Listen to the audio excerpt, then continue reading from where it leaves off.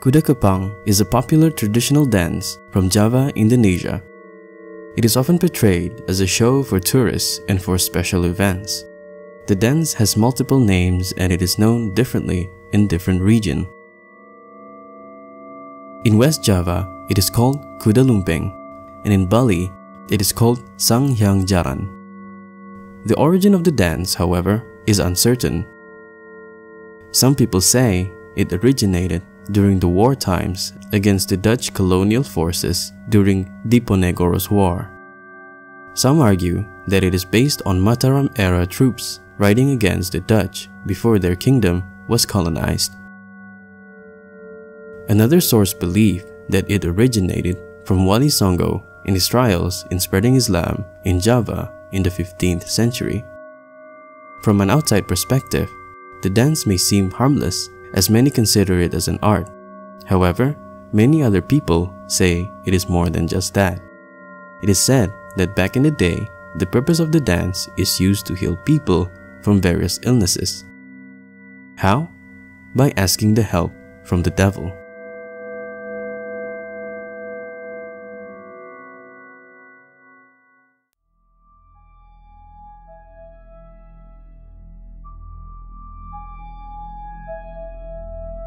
We read, listen, recount stories that fascinate us.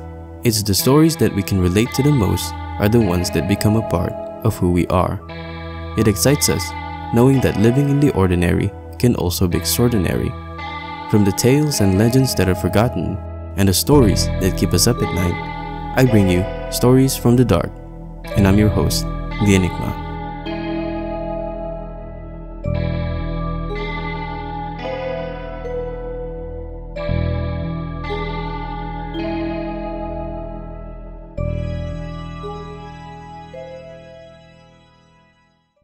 The dance consists of 5 to 9 dancers who are equipped with flat legless horses that are made from rattan or sometimes from wood. It is also adorned with traditional designs to make the horses look more attractive. It is said that during the performance, the dancers are actually possessed by the devil. The performance also requires five musicians where they play traditional music in the background by using musical instruments such as angklung, gendang, gong, jidur, kenong, bonang, and small saron. It is said that the performance can take up to several hours, not more than 12, or else the spirits will permanently reside in the body of the dancers.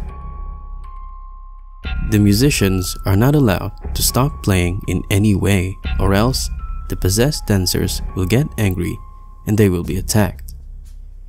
In order to regulate the dancers, a master has to be in charge. They are called the dalang.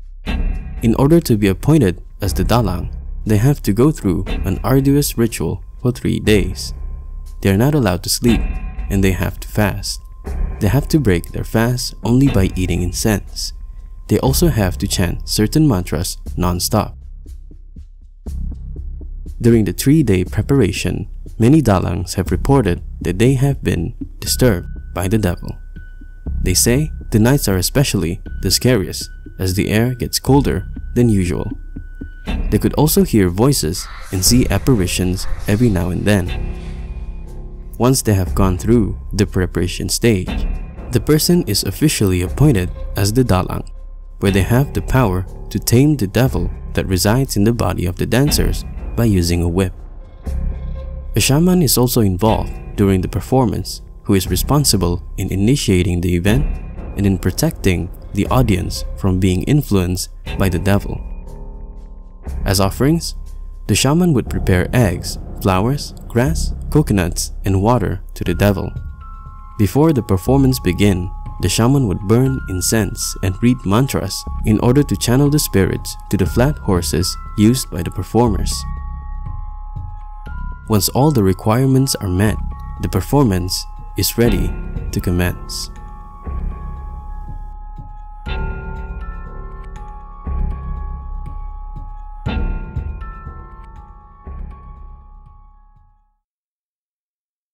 The following is the story of a traveler and his friends who went to Selangor, Malaysia to watch the performance firsthand.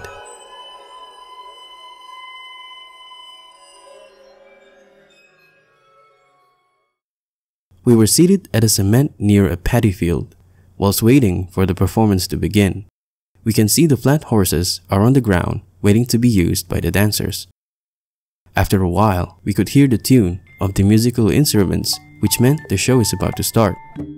The crowd cheered unanimously. Before the performers were able to enter the stage, the shaman first appeared before the crowd. He was standing outside of the stage, and I can see him reciting a certain mantra silently. We were told that this was meant to connect the portal of the spirits to our world. At first, my friends and I were skeptic and we laughed it off. As soon as the shaman finished reciting his mantra, we could feel a surge of cool air sweeping into the crowd. The air was initially warm and now it is starting to feel colder than usual. This made me feel a bit uneasy. The performers started to enter the stage in a single line which was led by the master. As soon as the dancers were set in place, the master asked for volunteers amongst the audience to be involved as the dancers. After a few minutes, I didn't expect that three of my friends would volunteer to become the dancers. So, the rest of my friends and I cheered happily, not knowing what was about to come. They started off by circling around riding the flat horses and following the rhythm of the beat. Suddenly, the performers were screaming whilst looking at the sky. I find it quite eerie, which I'm sure many of the audiences would agree. Each of the dancers were wearing masks of different characters. There was a princess, a clown, and two others were using a tiger suit. Suddenly, the air became colder than it was a few minutes ago and it really magnified the horror aspect of the performance. Things got weird really fast as the dancers took off their masks and proceeded to behave in inhumane way. One of the dancers started biting off the husk of a coconut as if it was a monkey. Another dancer was slithering in the floor like a snake, whilst the other dancers were possessed by the spirit of a horse where they started galloping in circles in a perfect rhythm. In an effort to reassure the audience, the shaman said that he has placed a force field which protects the audience from being afflicted by the spirits. This reassured me and the audience for a little while that we were able to resume in taking photos of the performance. Suddenly, the shaman who was trying to contain the spirits of the dancers started to scream in the same manner as the dancers earlier. This immediately made me worry as the shaman is supposedly protecting us from the spirits. Now, the dancers started to become more erratic in their movements. The horse dancers are starting to break from their circle and started to run up to the nearby trees.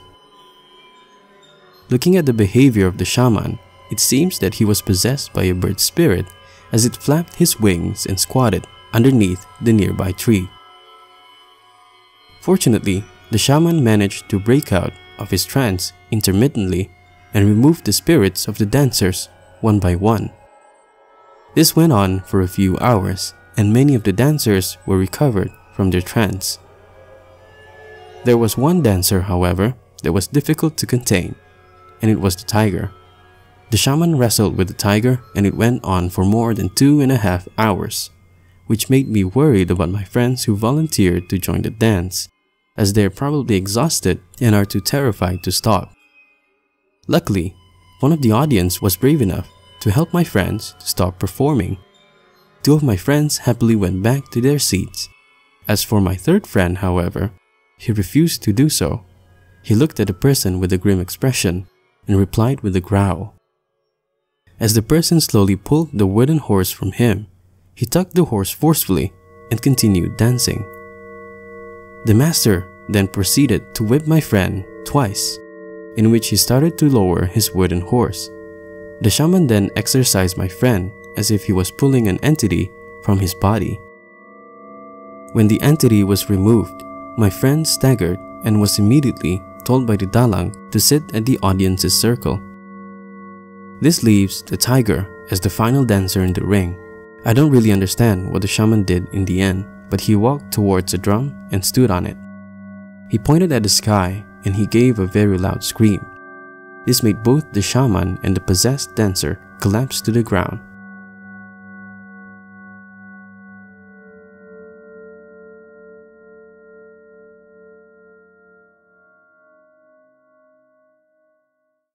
After the performance ended, I was left terrified. Three of my friends who volunteered were sick the very next day. It is safe to say my friends and I will not be attending any more traditional performances with ritualistic background.